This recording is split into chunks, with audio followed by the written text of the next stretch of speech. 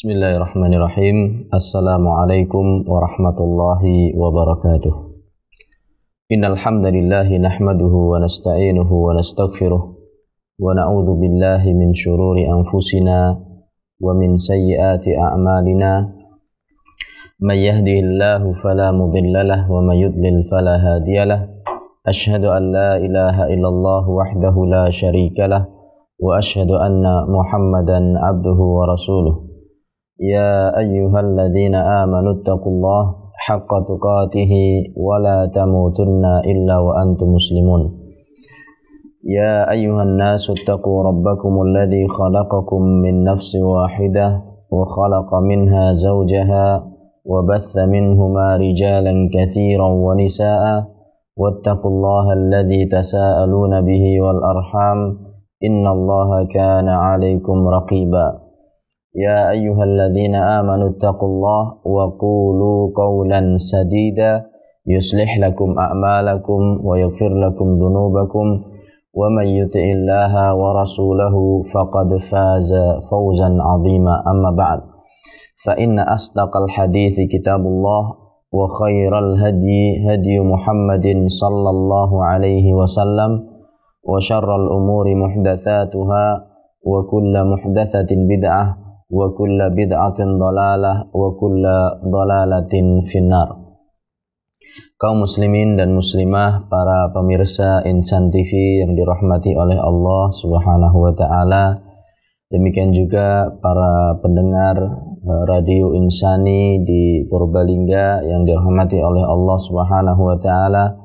Alhamdulillah segala pu segala puji dan syukur kita haturkan kehadirat Allah Subhanahu wa taala di mana pada pagi hari ini kita masih bisa dikumpulkan atau masih berkumpul uh, dalam satu kebaikan dikumpulkan oleh Allah Subhanahu wa taala dalam sebuah kebaikan dalam sebuah uh, amalan-amalan yang insyaallah taala dimuliakan oleh Allah Subhanahu wa taala. Kaum muslimin dan muslimah tidak lupa kita juga senantiasa memohon kepada Allah untuk memberikan taufiknya kepada kita agar kita bisa meyakini, mengucapkan dan melaksanakan segala perkara yang dicintai dan diridhai oleh Allah Subhanahu wa taala. Demikian juga kita memohon selalu kepada Allah Subhanahu wa taala untuk berkenan melimpahkan kepada kita taufiknya sehingga kita bisa menjauhi segala keyakinan, segala ucapan dan segala tingkah laku yang dimurkai oleh Allah Subhanahu wa taala. Kaum muslimin rahimani wa rahimakumullah. Salah satu kewajiban seorang muslim adalah memperhatikan hak dirinya sendiri sebagaimana disabdakan oleh Rasulullah sallallahu alaihi wasallam wa inna alaika li jismika wa inna alaika li nafsika haqqa. Sesungguhnya jiwa kamu memiliki hak atas kamu. Jadi kita harus beradab kepada diri sendiri. Makanya dikatakan oleh berdasarkan hal itu maka oleh Syekh Abu Bakar bin Jabir Al-Jazairi dalam kitab beliau uh, Al-Minhajul Muslim dalam kitab beliau Minhajul Muslim bahwasanya di antara hak yang paling utama terhadap diri sendiri adalah seorang manusia, seorang insan hendaklah senantiasa berusaha mensucikan, membersihkan dirinya sendiri, mengajak dirinya untuk belajar, mengajak dirinya untuk uh, di, menghilangkan kebodohan-kebodohan pada dirinya. Allah Subhanahu wa taala berfirman, eh, "Qad aflaha man zakkaha wa qad khaba man dassaha." Sungguh telah beruntung orang yang mensucikan jiwanya, membersihkan jiwanya, dan sungguh telah merugi orang yang uh, mengotori jiwanya kaum muslimin rahimani wa rahimakumullah para pemirsa Insan TV yang dirahmati oleh Allah Subhanahu wa taala berangkat dari ayat ini maka seorang muslim harus berusaha untuk mensucikan jiwanya dan itu setiap hari harus dilaksanakan. Dalam satu hadis dikatakan oleh Rasulullah sallallahu alaihi wasallam bahwasanya Rasulullah sallallahu alaihi wasallam bersabda kullun kullun nasi yaghdu. Setiap manusia akan sampai pada pagi hari. Fa mubiquha au mu'tiquha maka orang tersebut akan membebaskan jiwanya atau dia akan mencelakakan dirinya.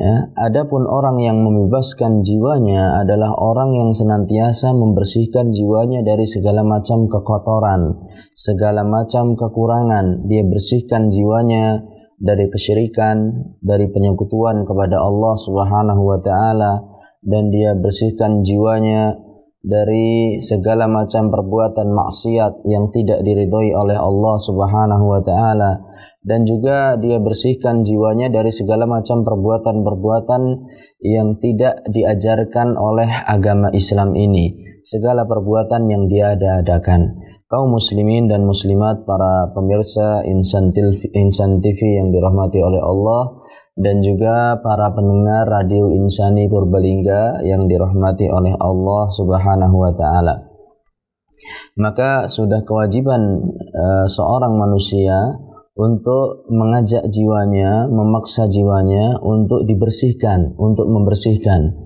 Ya, tidak boleh mengikuti keinginan jiwa karena sebagaimana seorang ulama atau di antara atau sebagian ulama mengatakan bahwasanya an-nafsu illam tasghalha syagalatka. Jiwa itu kalau kamu tidak sibukkan dengan kebaikan, justru dia yang akan menyibukkan Anda. Ya, jiwa itu kalau tidak Anda sibukkan, justru dia yang akan menyibukkan Anda. Oleh sebab itu, ya, keutamaan atau kewajiban atau adab kita terhadap diri sendiri terangkum dalam perkataan Ibnul Qayyim. Ya, bahwasanya Ibnul Qayyim mengatakan bahwasanya seorang jiwa itu, seorang manusia itu hendaklah mengajak jiwanya untuk empat perkara. Ya beliau mengatakan bahwasanya maratibul jihad di arba. Ya e, tingkatan-tingkatan dari jihad adalah empat ya tingkatan-tingkatan dari jihadun nafas ya. Bagaimana seorang itu terhadap jiwanya? Ada empat. Yang pertama adalah an yujahidaha ala ta'allumil huda wa dinil haqqi. Ala an yujahidaha ala ta'allumil huda wa dinil haqqi. Yakni memaksa jiwa itu untuk mempelajari al-huda wa dinil haq yakni mempelajari ilmu nafi dan agama Islam dan bagaimana beramal dipaksa karena jiwa itu kalau tidak dipaksa dia akan senantiasa mengajak seseorang untuk me melakukan perkara-perkara yang tidak diridhai oleh Allah Subhanahu wa taala. Kata Allah Subhanahu wa taala, "Inna nafsa la ammaratun bisu." Sesungguhnya jiwa itu mendorong seseorang untuk senantiasa melakukan perbuatan-perbuatan yang buruk, perbuatan-perbuatan yang tidak diridhoi oleh Allah Subhanahu wa taala. Dia ajak jiwanya, dia paksa. Terkadang seseorang ya tidak menyadari bahwasanya kebutuhan dia terhadap ilmu ta'allumul huda wa dinil haq mempelajari ilmu al-huda petunjuk dan agama yang benar itu tidak menyadari bahwasanya kebutuhannya lebih tinggi daripada kebutuhan makanan dan minuman. Padahal kebutuhan kita kepada ilmu itu jauh lebih besar. Kalau Anda butuh kepada makanan dan minuman mungkin sehari sekali atau dua kali. Akan tetapi kebutuhan kita kepada ilmu jauh lebih besar dari hal itu. Sehingga Al Imam Ahmad rahimahullahu taala mengatakan bahwasanya an-nasu ilal ilmi ahwaju minhu ila ta'ami wa syarab. Bahwasanya manusia itu kebutuhan dia kepada ilmu jauh lebih besar dari kebutuhan dia terhadap makanan dan minuman فالناس يحتاجون إلى العلم فالناس يحتاجون إلى إلى الطعام والشراب fil yaumi marratan aw marratain. Manusia butuh kepada ilmu sehari paling sekali atau dua kali. Wa hum yahtajuna ilal ilmi madadal anfas. Sementara kebutuhan mereka kepada ilmu adalah sepanjang nafas. yakni sebanyak berapa kita bernafas setiap hari, itulah kebutuhan kita. Maka betul kata Ibnu Qayyim, Ya, di antara adab yang yang pertama terhadap jiwa adalah an yujahidaha ala ta'allumil huda wa dinil haq. Kita belajar. Ya, kita ajak dia itu untuk belajar. Seorang jiwa itu kalau nggak dibahas, dipaksa itu akan malas-malasan. Ya, dia cenderung untuk bermalas-malasan ya. Dia sebagaimana anak kecil kalau tidak dilatih untuk belajar tidak dilatih untuk mengerjakan sesuatu dia cenderung untuk bermain kemudian dia lalai dan yang lain-lain. Maka kita paksa jiwa itu untuk untuk belajar. Terlebih bahwasanya belajar itu adalah sebuah kewajiban Islam ya. Sebuah faridah sebuah kewajiban. Sebagaimana disabdakan oleh Rasulullah sallallahu alaihi wasallam talabul ilmi Faridatun ala kulli muslim. Mencari ilmu itu adalah wajib bagi setiap muslim. Ya, wajib hukumnya. Artinya apa? Kalau ditinggalkan berarti dia berdosa. Ya, dia berdosa. Dia tidak menunaikan adab dia terhadap dirinya. Dia akan ditanya oleh Allah Subhanahu wa taala an umrihi aina afnah tentang umurnya di mana dia habiskan wa an syababihi aina afnah dan tentang masa mudanya di mana dia habiskan, bagaimana dia habiskan, apakah untuk foya-foya? Ataukah untuk bersenang-senang? Ataukah hanya untuk sekedar yakni uh, mencari kehidupan dunia? Tanpa memikirkan bagaimana mencari ilmu yang bermanfaat. Sehingga akan hilang darinya uh, sekian banyak kebaikan. Oleh sebab itu uh, al-Imam dan kita mengetahui juga bahwasanya al-Imam Ahmad Eh, mengatakan bahwasanya mencari ilmu itu kedudukannya sangat tinggi. Selain dia kewajiban dan melaksanakan kewajiban adalah satu perkara yang sangat dicintai oleh Allah Subhanahu wa taala sebagaimana disebutkan oleh Rasulullah sallallahu alaihi wasallam dalam sebuah hadis qudsi uh, kata kata Allah Subhanahu wa taala wa ma taqarraba ilayya 'abdi bi syai'in ahabbu ilayya mimma aftaratuhu alaih. Dan tidaklah satu seorang hamba mendekatkan diri kepadaku dengan satu perkara yang lebih aku cintai dibandingkan dari atau dibandingkan dengan dibandingkan apabila dia mengamalkan kewajiban. Yani wa taqarraba ilayya 'abdi bi syai'in ahabbu ilayya mimma aftaratuhu alaih. Tidaklah seorang hamba mendekatkan diri kepadaku dengan sesuatu yang lebih aku cintai dibandingkan apabila dia mendekatkan diriku dengan kewajiban. Dan ilmu mencari ilmu ta'allumul huda wa dinil haq adalah suatu kewajiban agama Islam. Sebagaimana telah saya sebutkan uh, perintah atau sabda Rasulullah sallallahu alaihi wasallam talabul ilmi faridatun ala kulli muslim. Di samping dia merupakan kewajiban dan dia juga kebutuhan. Sebagaimana saya katakan tadi uh, penukilan dari Al-Imamu Ahmad rahimahullahu taala. Dan selain dia itu kebutuhan, dia itu adalah kemuliaan. Ya dia adalah kemuliaan. Sekali lagi bahkan Imam Ahmad mengatakan uh, al-ilmu la ya'diluhu syai'. Ilmu itu tidak akan tertandingi oleh sesuatu pun. Ya Eh, ketika ditanya kepada Imam Ahmad, "Kaifa dzalik?" Bagaimana hal itu wahai Imam Ahmad? Kata Imam Ahmad, "Al-ilmu la ya'diluhu syai'un in sahat niyatuhu." Ilmu itu tidak akan bisa ditandingi oleh satu perkara apa pun apabila niatnya benar. Kemudian ditanya kepada Imam Ahmad, "Kaifa dzalik ya Imam Ahmad?" Bagaimana hal itu bisa terwujud wahai Imam Ahmad? Maka Imam Ahmad mengatakan, an yanwiya uh, fi talabihi al jahli an nafsihi. Hendaklah dia meniatkan ketika mencari ilmu adalah untuk mengangkat kebodohan dari diri sendiri. Yang kedua adalah wa ayyanwiya fi talabihi al jahli an ghairihi. Hendaklah dia meniatkan dalam mencari ilmu itu adalah mengangkat kebodohan dari orang lain ya ini. Jadi seorang dalam mencari ilmu dia akan mendapatkan sesuatu yang tidak tertandingi kemuliaannya. Maka kata Allah Subhanahu wa taala ya eh, Allah Subhanahu wa taala berfirman qul bi fadlillahi wa bi rahmatihi fabidzalika falyafrahu.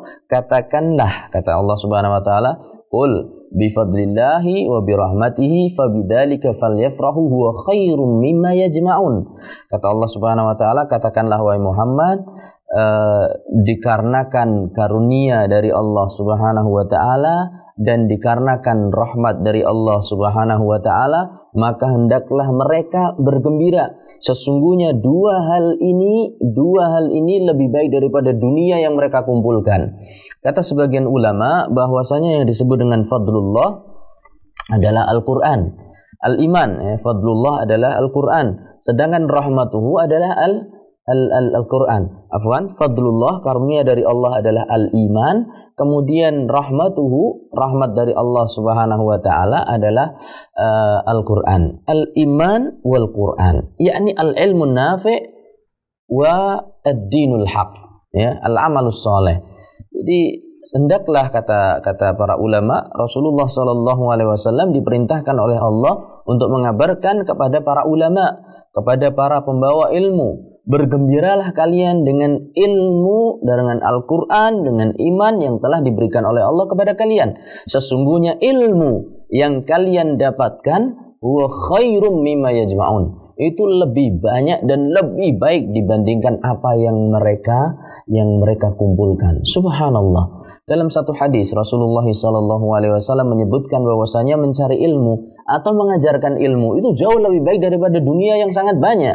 Kata Rasulullah SAW menggambarkan bagaimana seorang tua ketika dia e, memberikan nasihat kepada anaknya tentang satu adab saja itu lebih baik daripada apa yang mereka sedekahkan dari sekian banyak e, perkara. Kata Rasulullah sallallahu alaihi wasallam la ayyu addibar la ayyu la ayyu addibar rajul waladahu khairum min an yatasaddaqa bisa. Sungguh seorang laki-laki, yakni seorang atau seorang tua yang mengajarkan anaknya dengan satu adab saja, ini satu aturan dalam agama Islam, satu ajaran dalam agama Islam itu lebih baik, jauh lebih baik dibandingkan apabila mereka bersedekah dengan satu sok satu sok subhanallah di sini Rasulullah Shallallahu Alaihi Wasallam tidak menerangkan uh, apakah sok di sini adalah sok beras ataukah sok kurma atau mungkin sok emas bahkan ya Bayangkan kalau itu adalah sok beras misalnya, satu sok beras dua setengah kilo sampai tiga kilo. Sekarang beras harganya berapa, Abdurrahman? Sekilonya? Sekitar delapan ribu. Delapan ribu, sepuluh ribu. Delapan ribu itu yang kelas bawah. Ya. Sekarang kita ambil yang kelas atas sekitar mungkin sepuluh ribu. Kalau tiga kilo kali sepuluh ribu saja sudah tiga puluh ribu. Man minna ya tasodakulla yaum salasina alf rupiah. Siapa di antara kita yang bersedekah, mampu bersedekah setiap hari 30 ribu? Satu sok. Itu baru beras. Bagaimana kalau emas? 3 kilo emas. Sekilo emas berapa Ustaz Abdurrahman? Belum pernah menghitung. Satu gramnya. Saya tanya satu kilo. Subhanallah. Satu gramnya saja 500 ribu. Berarti kalau satu kilo? 1000 gram. Iya, 1000 gramnya. Satu kilo. 500 ribu kali seribu. Berarti berapa itu? 500 juta, 500 juta, betul? Ya, sekitar 5 Wah, ini pagi-pagi belum bisa ngitung. ya, 500 juta, ya 500 juta sehari itu baru satu kilo. Bagaimana kalau 3 kilo, Mas? Yakni 1,5 M. Ya, 1,5 M. Siapa yang bisa bersedekah setiap hari dengan 1,5 M rupiah. Tapi ternyata kita yang mengajarkan anak kita dengan satu buah adab, satu ajaran Islam saja, itu khairun min an yatasaddaqa bisa. Lebih baik dibandingkan kita itu bersedekah dengan satu sa'. Subhanallah. Maka betul sekali ya, selain ilmu itu adalah kewajiban, ilmu itu adalah kebutuhan, ilmu itu adalah kemuliaan. Lebih baik dari apa yang kita kumpulkan dari dunia seisinya. Lebih baik daripada apa yang kita usahakan dari segala macam bisnis, segala macam jabatan, segala macam pangkat duniawiyah.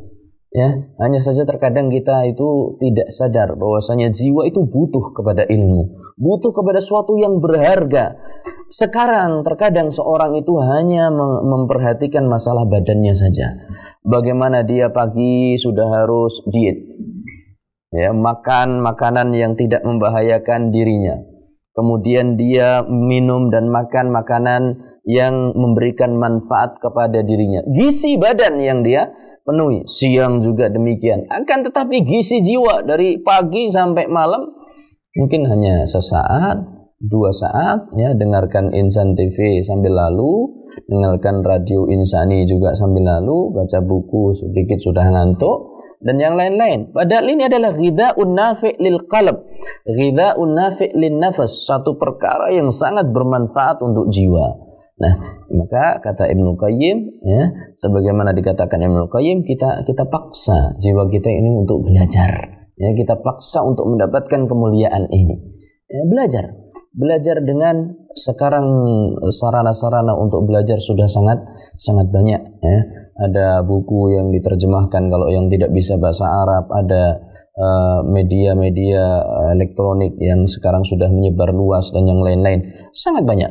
Kemudian kata Ibnu Qayyim rahimahullahu taala, perkara kedua yang merupakan uh, adab kepada diri sendiri adab kepada jiwa adalah an yujahidan nafas alal amali bil ilm. Memaksa jiwa untuk mengamalkan ilmu.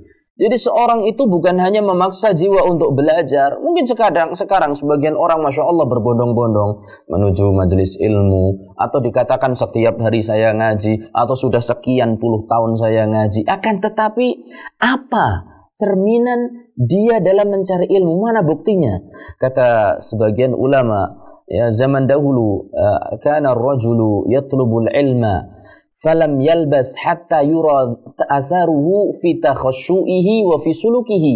Ya seseorang itu senantiasa mencari ilmu. Sehingga tampak pada dirinya pengaruh kepada kekhusyuan dia dan pengaruh dalam akhlak dia.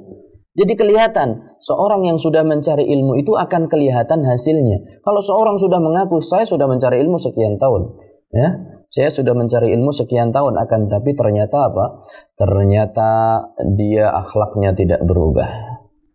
Seorang laki-laki sudah belajar sekian tahun akan tetapi kepada orang tuanya dia juga belum berubah seorang istri belajar sekian tahun ya ternyata akhlaknya kepada suaminya juga belum belum berubah masih saja mengangkat suara tinggi ya kalau di hadapan suaminya ibaratnya harimau yang siap menerkam dia ya atau dia akhlaknya kepada tetangga ibaratnya apa ibaratnya makanan yang berbau busuk hewan yang berbisa yang siap memangsa tetangganya ini belum ada asarnya asarnya, bekasnya, pengaruh dalam mencari ilmu adalah diamalkan. Sebagaimana pepatah mengatakan bahwasanya al-ilmu bila amalin kasyajari bila thamarin. Yani seorang yang mencari ilmu tapi tidak diamalkan ibaratnya pohon yang tidak berbuah. Seorang ya capek-capek menanam pohon mangga, ya cuma lihat daun sama pohonnya gede, nggak ada buahnya. Yang ditunggu-tunggu nggak ada. Ya kan mending pohon kersen kecil-kecil tapi menghasilkan. Kan begitu. Atau pohon cabai kecil tapi ada ada buahnya. Itu mahal lagi. Ini sudah gede pohonnya sudah sekian tahun tumbuhnya sekian tahun dia mencari ilmu mana buahnya? Nggak ada. Nggak ada perubahan. Sikap dia kepada Allah Subhanahu wa taala adab dia kepada Allah Subhanahu wa taala tidak berubah, ibadahnya tidak bertambah, adab dia kepada tetangganya tidak berubah, adab dia kepada diri sendiri tidak berubah, adab dia kepada suaminya tidak berubah, adab dia kepada istrinya tidak berubah, adab dia kepada anaknya tidak berubah, adab dia kepada orang tuanya tidak berubah. Ini adalah satu pekerjaan yang seakan-akan tidak menghasilkan buah. Ilmu dicari bukan hanya untuk dikumpulkan. Ilmu bukan dicari hanya sekedar untuk mengumpulkan gelar LC, LMA, profesor, doktor, atau dokter Randes, atau SHG. Bukan, bukan. Ilmu dicari untuk menambahkan kekhusyuan seorang di hadapan Allah Subhanahu wa taala.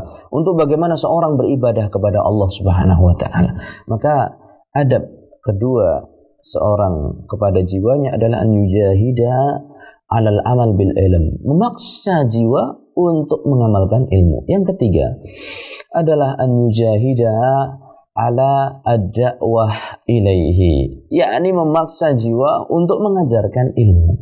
Mengajarkan ilmu. Sebagaimana dan dikatakan oleh Al-Imam Ahmad bahwasanya ilmu itu tidak akan tersaingi ke kemuliaannya apabila seorang itu meniatkan dalam dirinya ketika belajar adalah untuk mengangkat kebodohan dari diri dia dan kebodohan dari orang lain. Jadi tidak cukup kita tongkrong, kita duduk di depan majelis ilmu, kita belajar cuma untuk menghilangkan kebodohan kita. Harus diniatkan di dalam jiwanya bagaimana nanti saya akan menyampaikan ilmu ini minimal kepada keluarga saya. Kata Rasulullah sallallahu alaihi wasallam, "Ballighu anni walau ayah."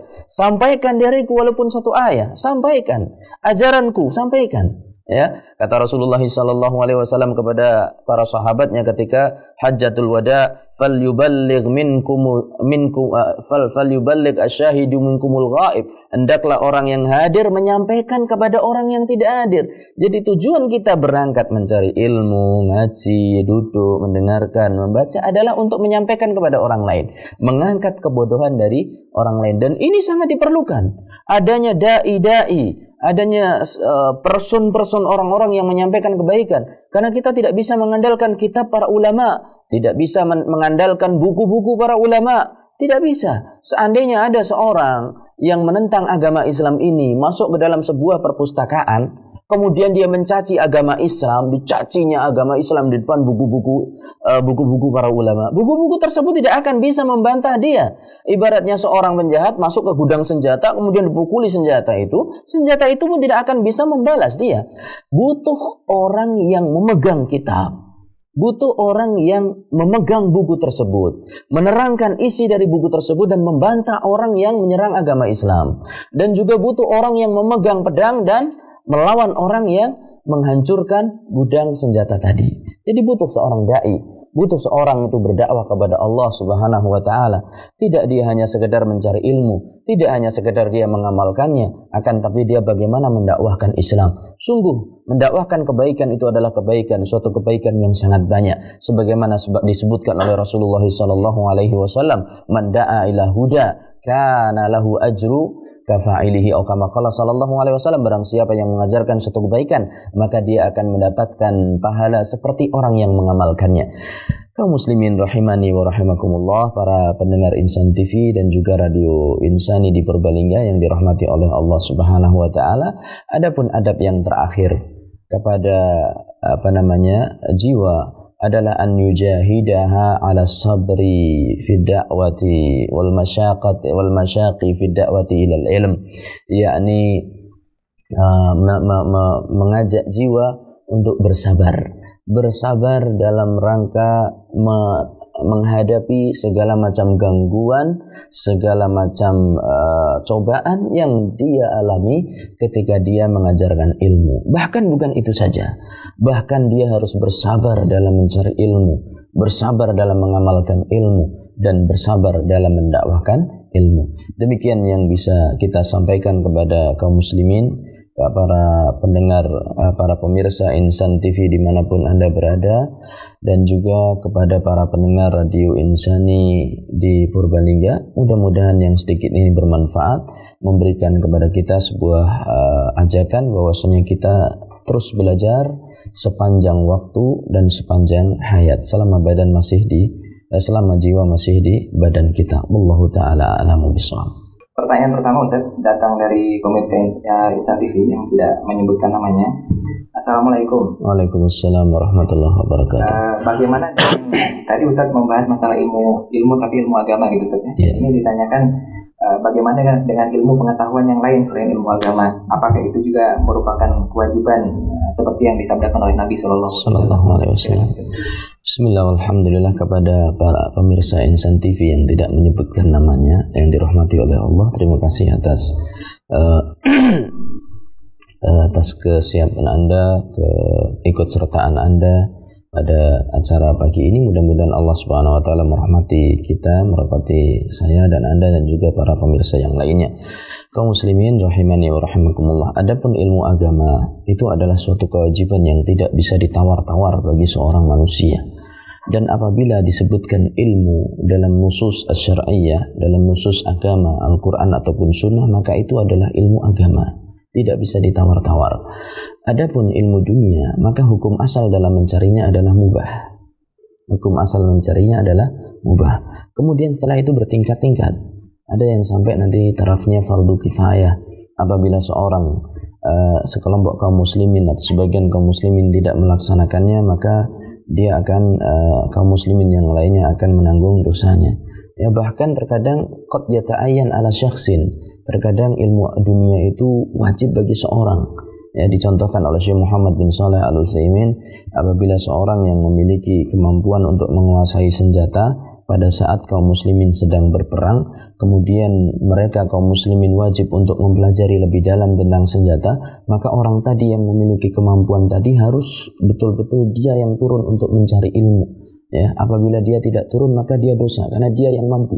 Demikian. Nah, adapun secara umum ilmu dunia itu adalah sesuatu yang yang apa namanya sesuatu yang mubah ya. jadi uh, sesuatu yang mubah tidak sampai pada taraf fardu ain ya uh, salah bagi sebagian kaum muslimin yang menyebutkan bahwasanya ilmu dunia itu adalah fardu ain yang dimasukkan dalam hadis talabul uh, talabul ilmu faridatun ala kulli muslim. Tidak. Yang dimaksud dalam talabul ilmi faridatun ala kulli muslim adalah ilmu agama. Ilmu yang bisa menghilangkan kebodohan dia terhadap Allah ilmu yang bisa menghilangkan kebodohan dia, ketidaktahuan dia tentang Nabi Muhammad SAW, ilmu yang bisa menghilangkan ketidaktahuan dia tentang uh, agama Islam dan dalil-dalilnya. Adapun ilmu agama secara umum adalah mubah. Bahkan Syekh Muhammad bin Saleh Al Utsaimin mengatakan bahwasanya ilmu dunia, ya, ilmu dunia bukan ilmu agama, saya maaf, maaf, saya salah sebut. Ilmu dunia itu adalah ibaratnya pedang bermata dua. Tergantung orang siapa yang memegangnya Terkadang dia akan bisa memberikan manfaat bagi kaum muslimin, wahada khair, dan ini adalah suatu kebaikan sebagaimana disabdakan oleh Rasulullah sallallahu alaihi wasallam. Khairukum man anfa'ukum linnas. Ya sebaik-baik kalian adalah orang yang bisa memberikan manfaat kepada orang lain. Apabila dia bisa memberikan manfaat kepada orang lain dengan ilmu dunia maka itu khair. Akan tetapi sebaliknya apabila dia bisa apabila dia menggunakan ilmu dunia untuk memberikan madarat kepada kaum muslimin atau madarat kepada umat yang lainnya yang tidak sesuai dengan apa yang diajarkan oleh Islam, maka hal ini adalah berbahaya bagi bagi dia. Allah taala alam. Baik, demikianlah eh, pemirsa Insan TV ya, jawaban atas pertanyaan yang antum ajukan. Untuk pertanyaan selanjutnya kita akan coba angkat dari telepon. Halo. Sebelumnya terima kasih kepada Bapak Supardi di Madura yang telah berkenan untuk mengikuti acara Insan TV. Mudah-mudahan Allah merahmati kita, Bapak dan juga kaum muslimin di mana pun mereka berada.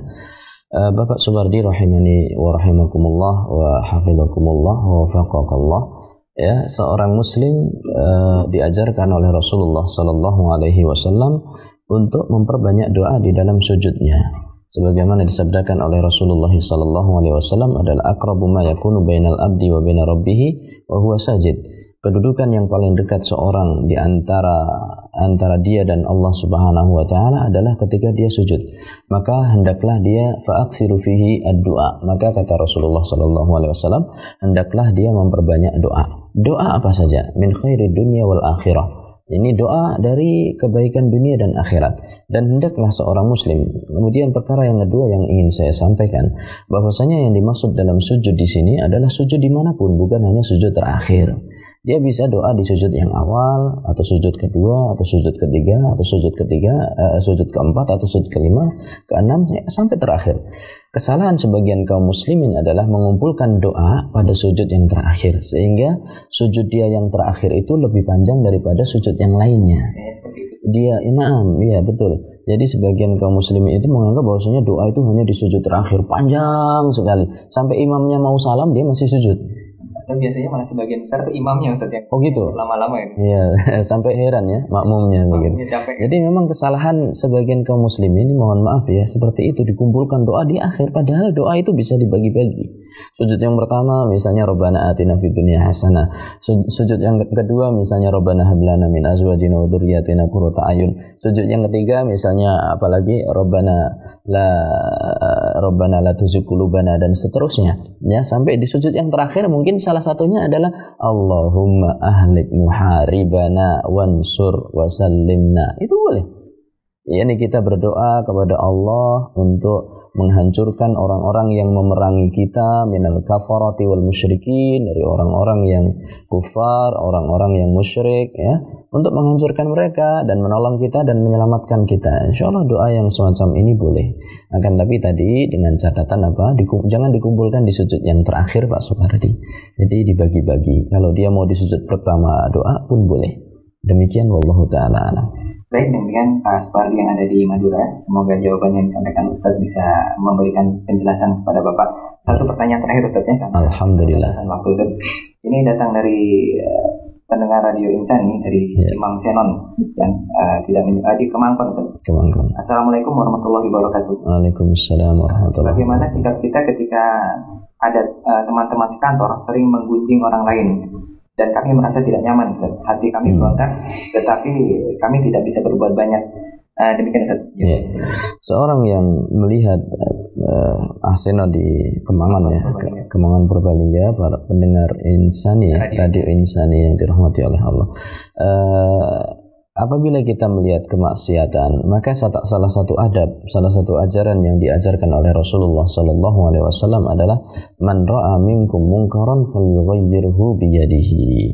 Barang siapa yang melihat kemungkaran, maka hendaklah dia berusaha merubah dengan tangannya, dengan kekuasaannya. Dia barangkali adalah kepala kantor, maka larang anak buahnya. Kalian datang ke sini itu untuk bekerja, bukan untuk membicarakan orang lain. Gitu. Kalian di sini itu untuk bekerja. Ini adalah amanah ya dan amanah itu adalah perintah dari Allah. Ya innallaha ya'murukum an innallaha ya'muru an tu'addul amanata ila ahliha. Sesungguhnya Allah Subhanahu wa taala memerintahkan untuk menyampaikan amanah kepada orang yang berhak mendapatkannya. Jadi amanah itu adalah uh, perintah Allah Subhanahu wa taala untuk kita sampaikan. Uh, itu apabila dia memiliki kekuasaan. Apabila dia tidak memiliki kekuasaan maka dia turun pada peringkat berikutnya yaitu fa illam yastati fabi lisanihi. Ya apabila dia tidak bisa merubah kemungkaran itu dengan tangannya maka dia rubah dengan lisannya. Dia sampaikan nasihat kepada mereka ya dengan cara yang baik dengan cara yang hikmah dengan cara yang tidak menyinggung mereka. Sampaikan kepada mereka ikhwah saudara-saudara sekalian tolong digunakan waktunya yang lebih bermanfaat. Toh ini nanti juga adalah keburukan yang akan menimpa kita yang akan kita dituntut nanti di akhirat apabila kita membincangkan dan menggunjing saudara-saudara kita. Begitu. Apabila dia juga lisan adalah lisan yang tidak bisa diberi atau tidak mendapatkan taufik dari Allah untuk bisa berbicara menyampaikan hujah argumen dan yang lainnya maka dia benci dalam hati. Dan ini kewajiban asasi seorang muslim di mana pun dia berada. Baik dia sendirian di tengah hutan ataupun di tengah keramaian. Dia wajib untuk membenci kemungkaran dengan hatinya. Kemungkaran pada diri sendiri dia wajib mungkari ya, wajib ingkari dengan hatinya. Maka kata Rasulullah sallallahu alaihi wasallam famalam yastati fa biqalbi. Barang siapa yang tidak bisa merubah kemungkaran dengan lisannya dengan tangannya dengan lisannya maka hendaklah dia merubah kemungkaran dengan hatinya. Kemudian kata Rasulullah sallallahu alaihi wasallam wa laisa min wara'a dzalika habbatu khardal minal iman. Dan tidak ada nilai keimanan sebesar biji sawi pun di dalam dadanya setelah itu. Yakni seorang muslim harus membenci kemungkaran. Nah ketika dia ternyata dengan dia dengan tangannya tidak bisa Pak Seno ya. Kemudian Seno betul ya? Seno. Ya kemudian dengan lisannya tidak bisa. Dia harus benci dengan hatinya. Kemudian apabila dia memang masih juga menyaksikan hal itu dari temannya dia pindah tempat. Ya pindah tempat jauhi mereka. Jauhi mereka. Sesungguhnya mereka adalah teman-teman duduk yang buruk. Ya teman-teman duduk yang sangat sangat buruk. Dan uh, apa namanya teman-teman duduk akan memberikan pengaruh yang sangat buruk kepada kita. Sebagaimana Pak mengatakan al al al, al sahibu sahib. Ini seorang sahabat itu akan mempengaruhi kita. Demikian Pak Seno ya berusaha semaksimal mungkin untuk merubah kemungkaran dengan kekuatan kalau dia punya kalau tidak dengan lisan kalau tidak dengan hati dan kita jauhi tempat itu. Nah.